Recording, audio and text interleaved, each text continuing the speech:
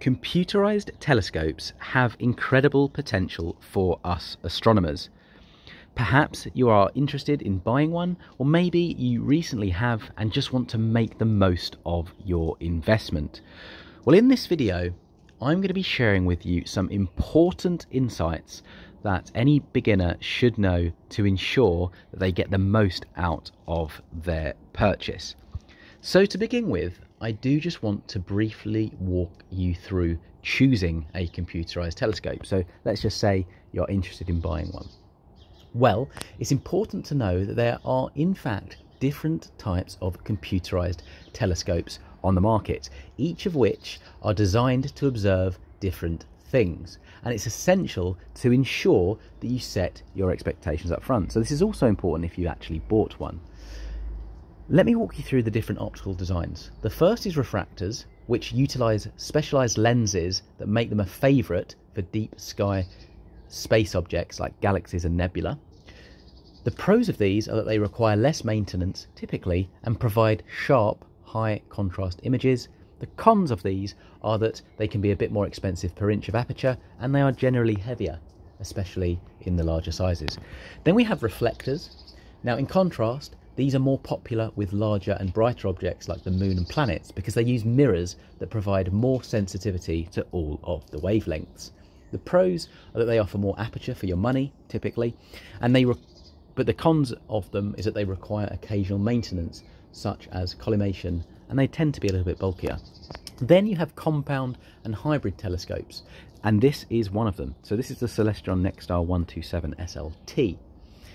So Schmidt Cassegrains and Maksutov Cassegrains, this is a Maksutov Cassegrain by the way, they combine lenses and mirrors. Now this design makes them versatile for both planetary and deep sky observing. In terms of pros, they are generally more compact and portable. As you can see, this isn't the largest telescope in the world. The cons, they can be more expensive and have a narrower field of view compared to reflectors. So you'll be seeing essentially less of the sky at once. So as I say, my 127 SLT is a Maksutov Cassegrain for reference. But that's just one part of it. The next is the aperture, which we need to consider as well. Now the aperture, or the diameter of the main lens or mirror, so imagine that in here, is crucial. A larger aperture gathers more light, allowing you to see fainter objects and more detail. So you always want to look at the aperture of the telescope you are considering. The higher the aperture, the better your chances of observing deep sky objects. So you need to think about what you want to observe.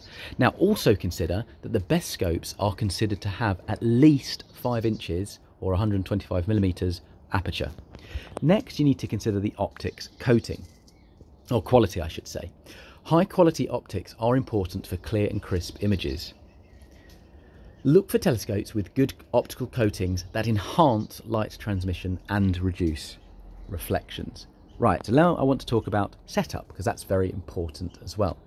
So once you've purchased your telescope, it's been delivered, you will need to set it up optimally. So for this, make sure you follow the included instructions. But here are some general quick tips. The tripod, it's so important that you pull all of the tripod legs out equally and make sure that they are straight and firm. You need to make sure your telescope is level on a flat surface to avoid issues with tracking. So many telescopes like this Nexstar have an inbuilt bubble level and that helps to ensure that you are on stable ground. You also excuse me, want to make sure that every element of your telescope is screwed in properly. So if I just show you here, everything is screwed in properly. You don't want anything to fall out because it can break and uh, get damaged or be scratched or whatever if it's not in tight enough and it falls out or it's just, you know, it can have uh, impacts on your views as well. The next thing to consider is your battery. So that's, in terms of this telescope, that's housed in here. So as you can see, I've got uh, AA batteries in there at the moment. I would advise that you consider getting a rechargeable battery pack. As you can see, I've got batteries at the moment, but I do want to invest in a rechargeable battery pack. The AA batteries are great, but they're not going to last forever, and at the same time, it's going to get expensive. So a rechargeable battery pack is great to power these computerized telescopes. Now, some common mistakes with computerized telescopes. So here are some I'd like to kind of suggest that and help you to avoid. Firstly, make sure you take the dust covers off. It's really e easy to just leave those on. Um, but yeah, just make sure you take all of those off, but also make sure you put them back on to protect your lenses and your optics.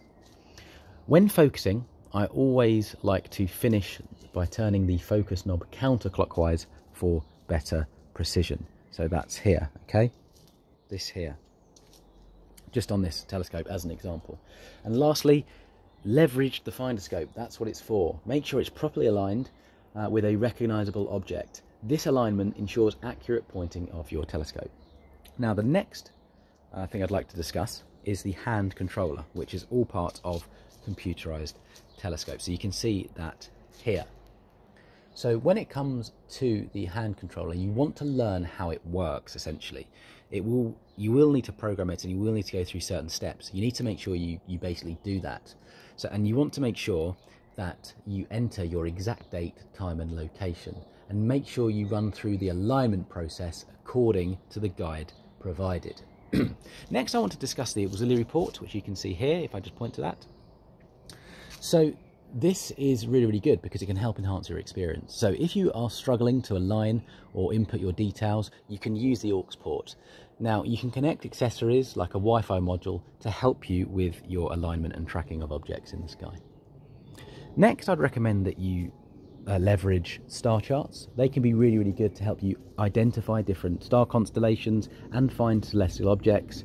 There are many free and paid star charts available online, or and you can you know you can print them or buy them and have kind of physical copies. Also, there's astronomy apps. Stellarium, Sky, Sky Safari, Starwalk, they're all great and can assist you in locating and identify those objects in the night sky. In terms of actual using it, you want, or you're using your computerized telescope, you want to ensure you have a sufficiently dark sky. So light pollution can really affect what you can see. So use dark sky maps to find locations with minimal light pollution if you have light pollution in your general area. Another thing on observing conditions, the best viewing conditions are clear, dark nights with no moon, unless of course you want to view the moon. Also avoid viewing over rooftops or other surfaces that radiate heat. Now in terms of telescope maintenance, make sure that you regularly clean all of your lenses. Uh, you know, use a soft cloth um, or, or a microfiber cloth as well. It's really, really important. Avoid touching them, you know, the optics with your fingers. Always keep dust covers on when not in use. I've touched upon that already. In terms of storage, store your telescope in a cool, dry place. Use a protective case if you're transporting your telescope frequently. Now, one of the benefits of a telescope like this not being too large is that you can kind of keep it uh, erect and kind of get it out when when you want to use it. Um, the good news is it doesn't take too long to set up and disassemble and assemble so you can always do that. But if you can if you've got a kind of dry dark space in your home you can kind of leave it standing for when you want to kind of use it. The other thing I'd recommend is that you want to start with easy targets. So begin targets like the moon and bright planets such as Jupiter and Saturn. Once you're comfortable, move on to star clusters, double stars and brighter nebula if your computerized telescope is capable of letting you observe them. Now, there's also another thing I'd like to suggest, and that's filters. So there are different filters you can use. Moon filters will help to reduce glare and enhance contrast when viewing the moon. Planetary filters can enhance details on planets, like using a red filter for Mars as an example. Light pollution filters help reduce the effects of light pollution for deep sky viewing if you have light pollution in your area. So you can check those out as well. Now, here is something I'd like to kind of leave with. The best thing that you can do is just enjoy your telescope and practice it. The more you use it, the more familiar you'll be you'll become with it. Practice using the hand controller, focusing, aligning. It will get easier over time. And don't get too discouraged if it's challenging at first persevere and you will find it rewarding, especially when you start observing some of those uh, amazing celestial objects. So I hope this guide helps you set up, enjoy and make the most of your computerized telescope with whatever one you decide to get. Whether you've just got it or you've uh, kind of recently got it out of the box or you're yet to set it up. If you have any questions, leave a comment and I'll be happy to help, so leave them down below. And with that said, happy stargazing and don't forget to keep practicing. Astronomy is a wonderful hobby, but it does require a little patience.